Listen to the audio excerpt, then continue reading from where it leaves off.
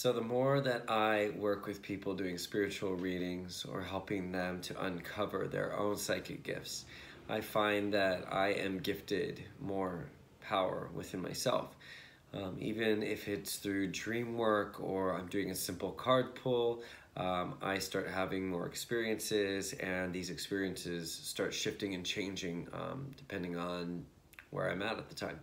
Um, so I thought it would be fun to start just sharing all my psychic experiences and the crazy, fun, random stuff that I encounter as I go along my daily, my daily life.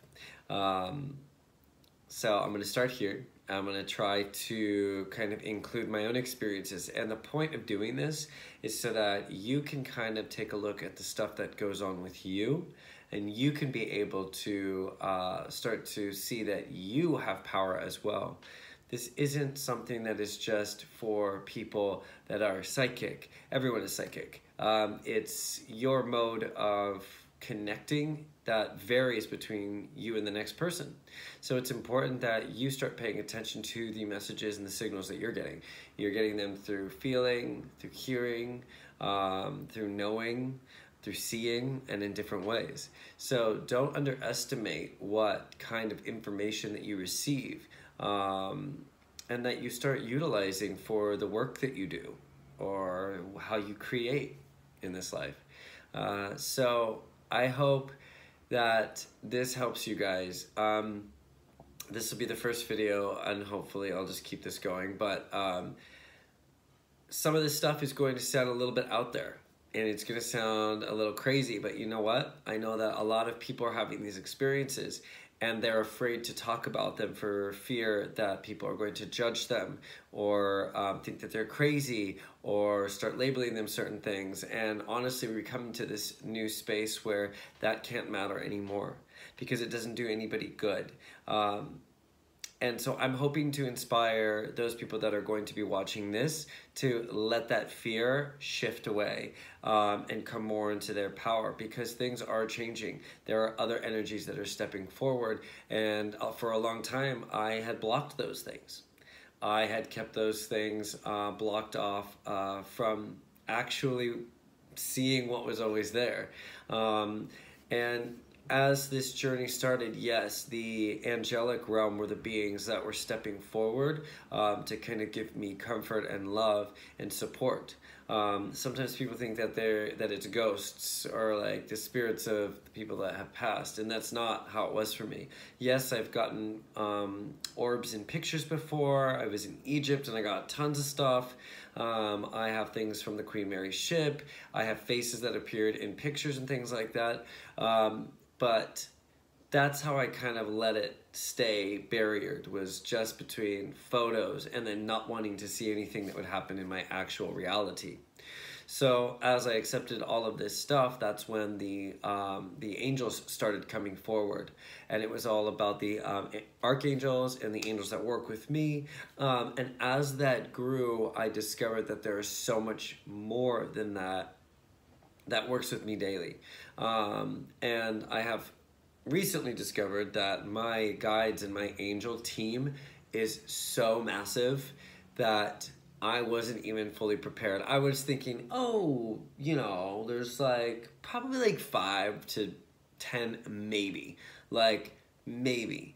Um, and then, and then on Saturday night, um, I went out uh, to see some good house music downtown LA, got back, and I was in my apartment, and I simply closed my eyes, and all of a sudden, it was a flash of a flash of a flash of a flash of a flash of different guides that were stepping forward for me to see them. So it was like um, one one person or uh, the first person or or being she was feminine but she had different like higher cheeks and like rounded off cheeks but was she was smiling at me. And then her face mushed into somebody else's face and then all of a sudden it just kept changing and a different face and the face would turn into another would turn into another. I mean there was native american there was a little boy there was females there were animals. And here's where it gets interesting. There were um, et beings that were stepping forward as well. Yes, you heard me right. I know it's going to sound a little bit out there, but something in you says that this might be true.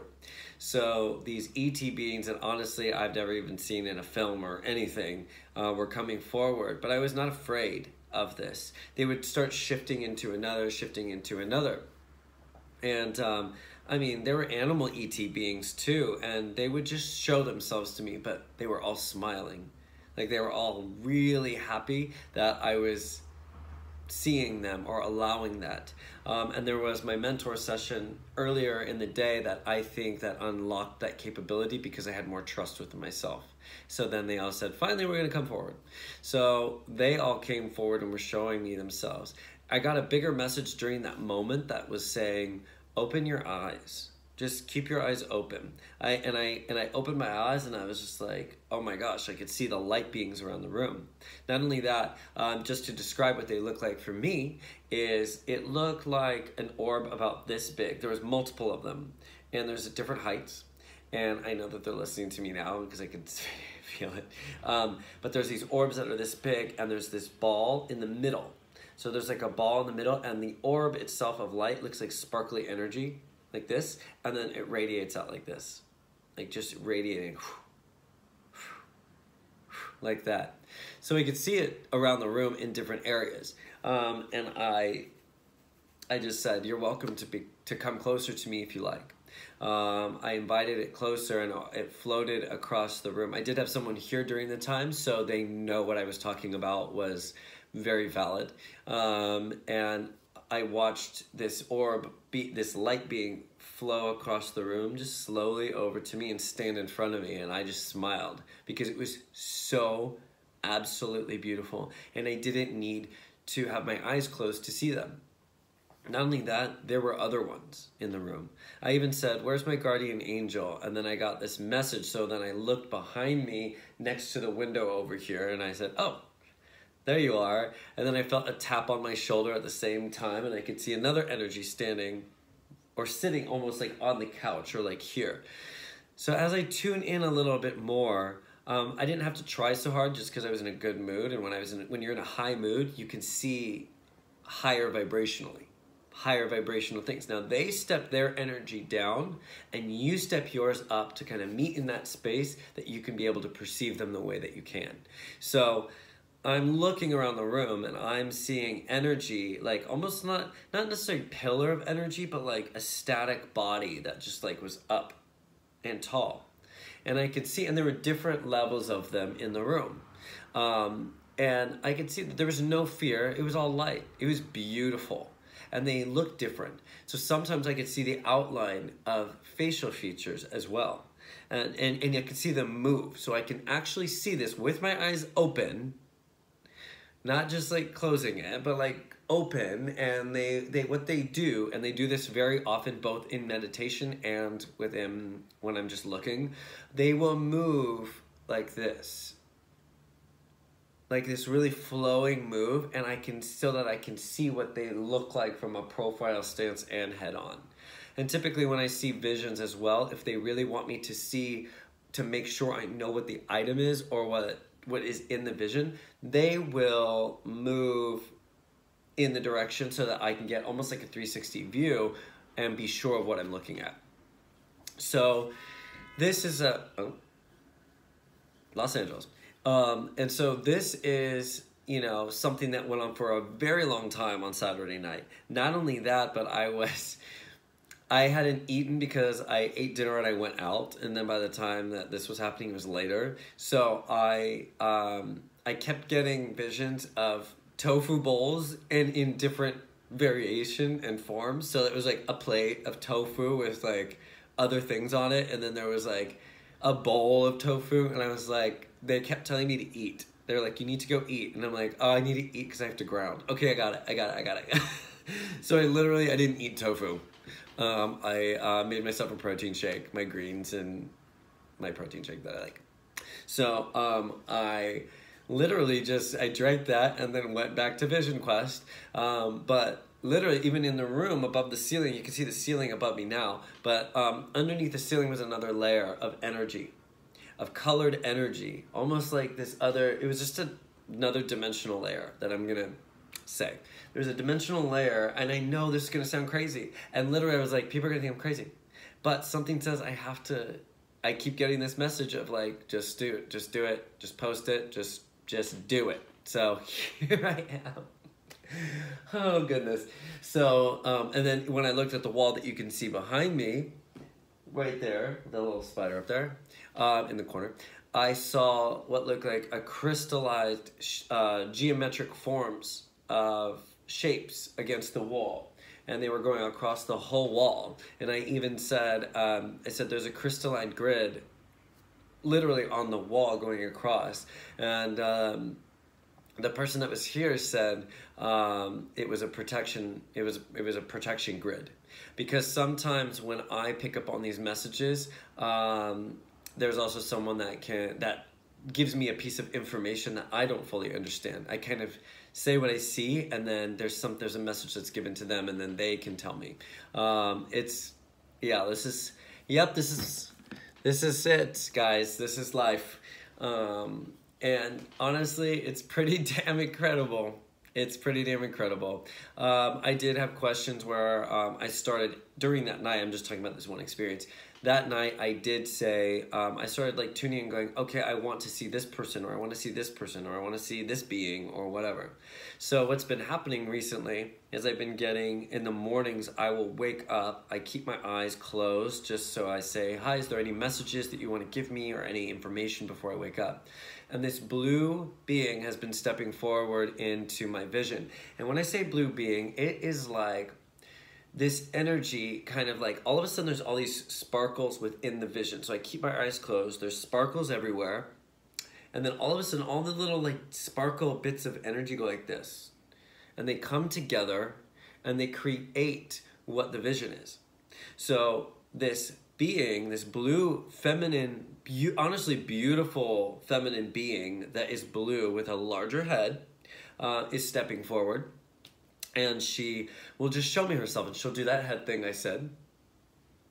She'll start moving her head and I look at her and she's just showing me herself. But this is a whole new like step in this direction so I have not fully been able to understand why she's coming forward at this time and and who she is fully. Um, but you know what? That is literally the fun of the whole thing. Have fun the more you tune in, the more you do work for yourself, the more you help other people, um, the more that uncovers. And it's this beautiful experience. People are messaging me all the time right now. They're like, you look different. You seem different. And I mean, look at, I'm letting my natural hair grow out, you know, and I used to think I was defined by that. And now I find that I'm more in my power so much more just that I've done that. And that I've let go of other things that I thought defined me or I was dependent on. And really, that was just a creation that I did. You know? So that's why I'm sitting here being able to talk about any of this and a blue being that comes to me in the morning.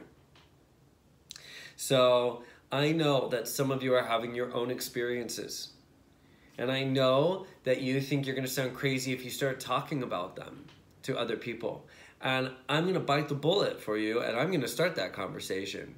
If you have had experiences of your own reach out to me.